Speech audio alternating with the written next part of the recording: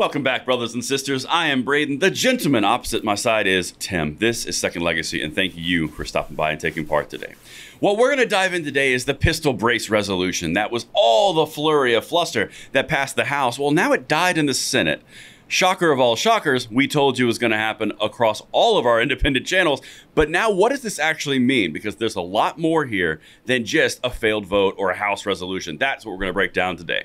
So make sure that you like the video, subscribe to the channel, and turn the notification bell on. We would love to have you help grow Second Legacy with us as we get into this. But per usual, before we go, Tim, how you doing today?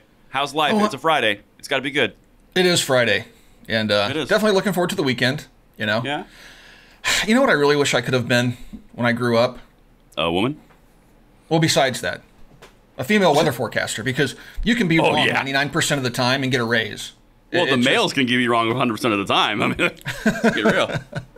I, I, went out uh, on a ride last night, and you know the weather said, "Oh, it's you know 110 degrees and no rain for six years. You know, it's going to be a beautiful night." And I rode right into yeah. a thunderstorm. So. Yeah, yeah, you know, it'd be like that sometime. But other than the weather, it yes. is Friday, and so that's something to be happy about. But let's break this down, Tim, because we got a lot of things here. Is it good? Is it bad? There's lots happening. So let's just introduce the concept and let's kind of take it step by step, right? Let's break this bad boy down. So, Mr. Producer, could you throw number one up there? Senate rejects House panel measure overturning Biden rule on pistol braces. Now, the interesting thing about this, Tim, we talked about this consistently.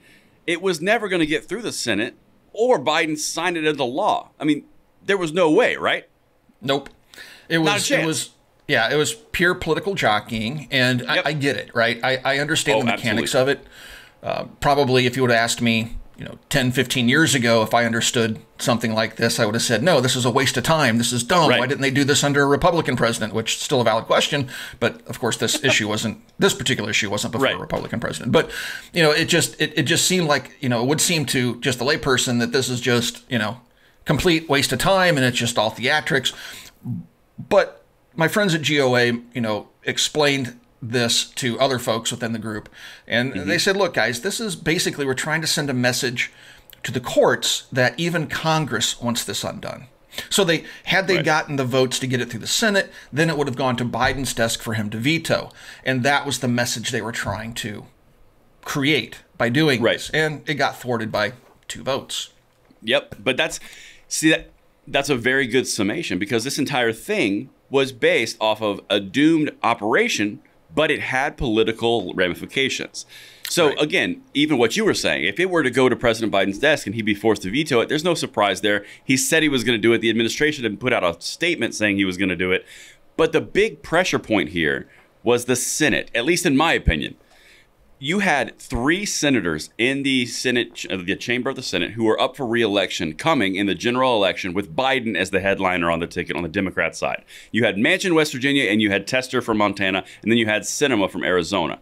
Now, the way that this shook out puts pressure on them, and the reason that they are special is because, Tim, they're from red states. Yep. They are from pro gun states, but they're Democrats.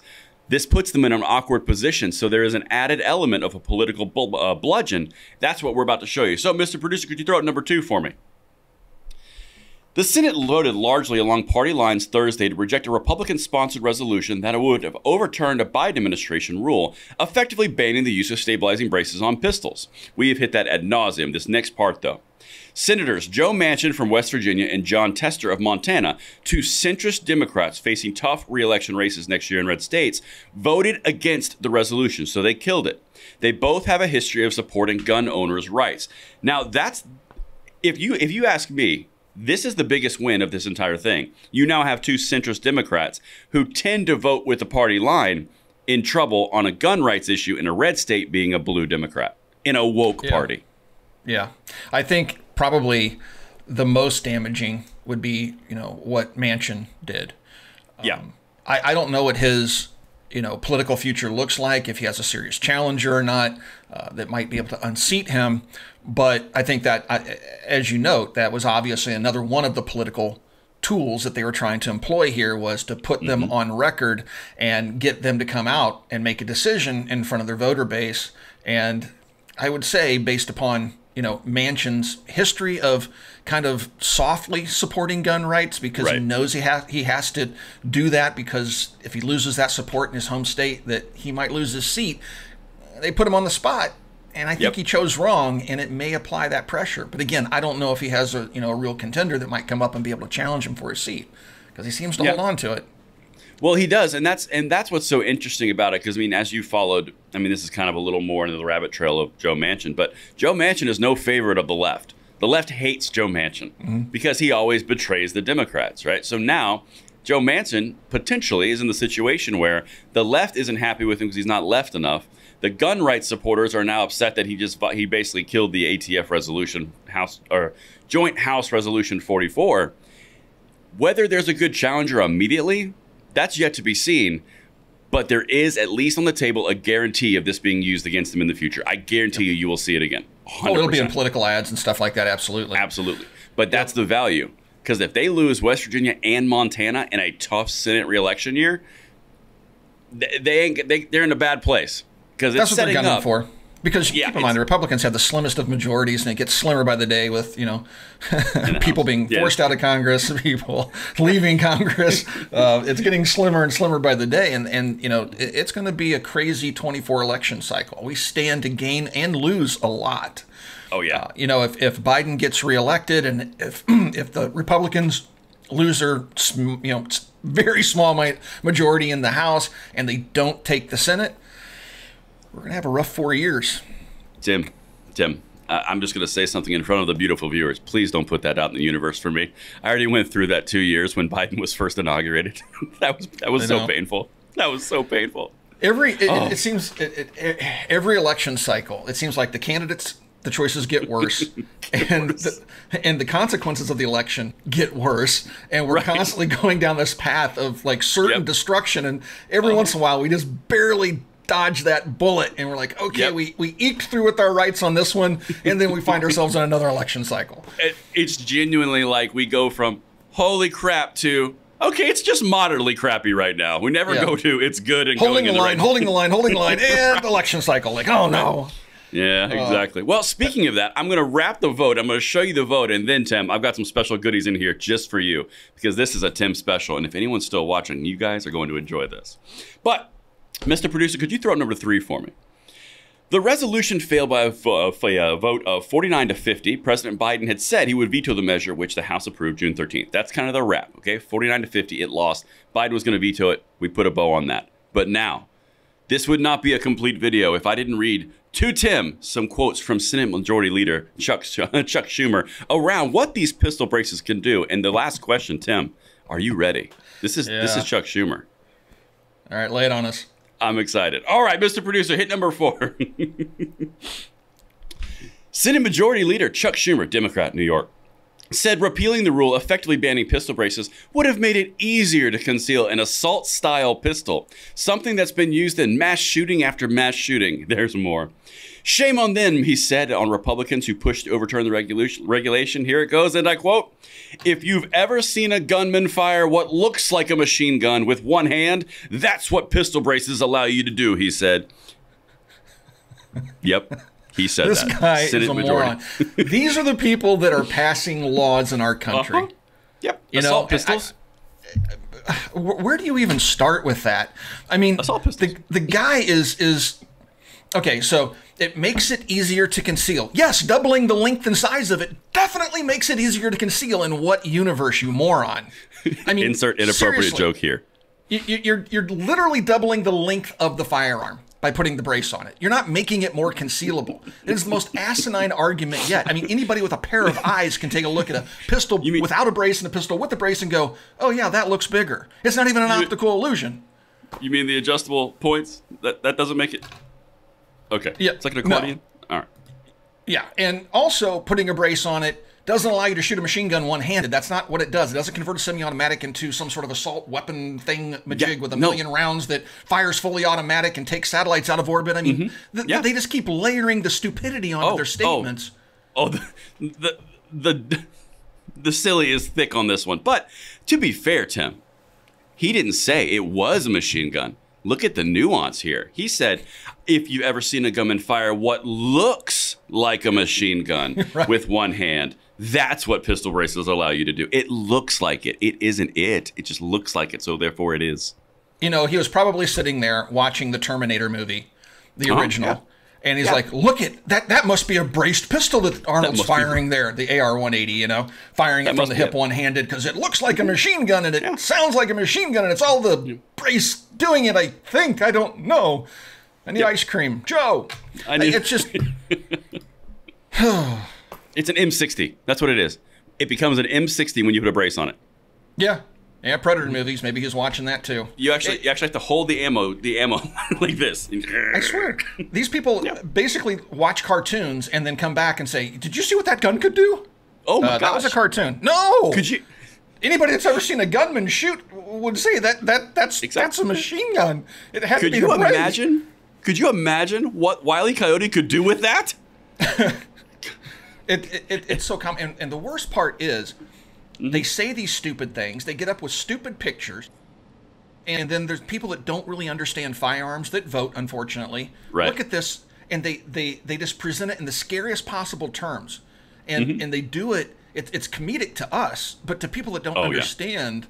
How firearms work or anything related to firearms, they'll look at that and go, oh, yes, we got to do something about that. We can't have people running around with those. It makes it a machine gun. And, yeah. and they'll go out there and argue that on Twitter because oh, yeah. some moron in the Senate that I don't know. I, it, it's we're going oh, down that rabbit hole so of moronic behavior. But Tim, I, I yes. think we haven't hit on one thing. This is important in his statement. An assault style pistol. So now we're did to we, assault style. Did we just did we just tip the hand there, Chucky? Because before is that, is that worse than an assault weapon? Or is so it what, not what as bad it? as an assault weapon? It's assault style. Is that what makes that an a, assault style pistol? Because I'm pretty sure they said hmm. assault style rifles for a while, and they said that was bad. So does it make it semi-automatic? Because that's a commonality. Does it make it a magazine capacity? Because that's a commonality. It's almost like they put pistols in the same boat. They just can't do it yet because they haven't got their ARs. Almost like that's yeah. where they're going. It's almost like they want to ban handguns. Almost. Almost. Almost.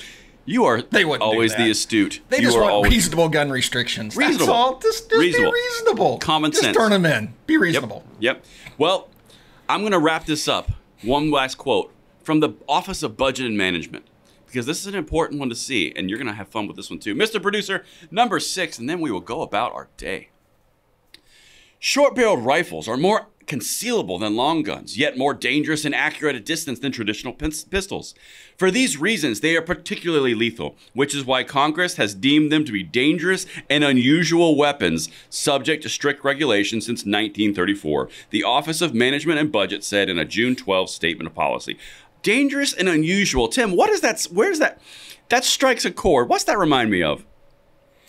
Stupidity. Look, the, the, the whole reason SBRs are on the NFA is because uh-huh. the original law that the NRA pushed, the original law also banned handguns and required you to pay a $200 tax and register yourself in the gun. Yep. But they realized they couldn't get that through the Congress at the time in 1934, so they stripped that piece out. If you ever wonder why the SBR part doesn't make any sense, because this is where they're trying to justify the SBR part. It's yep. it's a little bit bigger than a handgun, not as big as a rifle, but it's more deadly than both.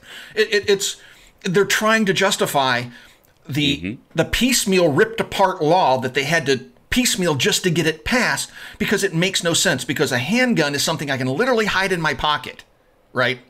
Right. An SBR is not something I can easily hide on my person, generally speaking, right? And yes, it is smaller than a rifle that has a 16 inch barrel, but that doesn't make it concealable.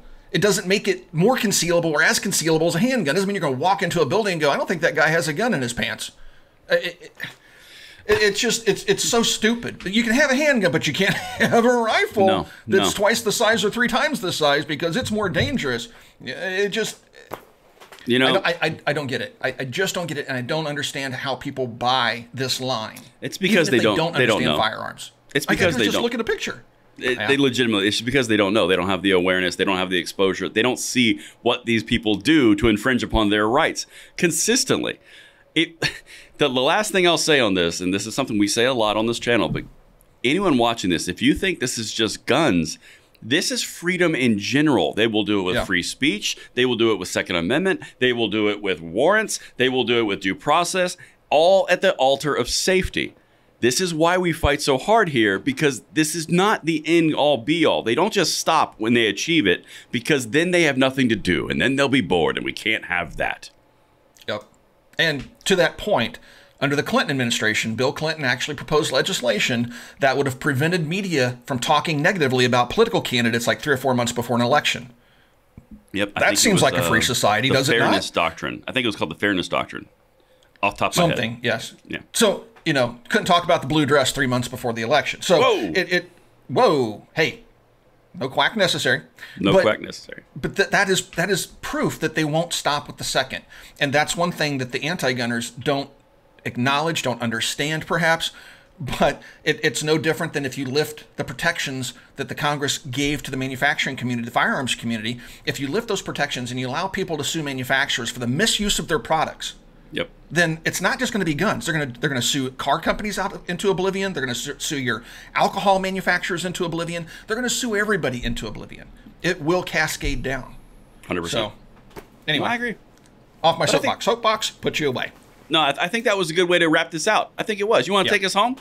Absolutely. Folks, if you'd like to be part of our call in show, there is a link in the video description below. Please follow that link, answer some questions. We'll get you on the show, and we'll have a good time answering any questions you may have, or just having a conversation about something of interest to you regarding the Second Amendment and guns in general. Thank you for watching, and we'll talk to you guys soon.